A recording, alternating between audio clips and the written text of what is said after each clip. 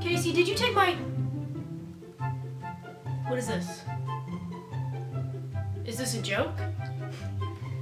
Okay, well...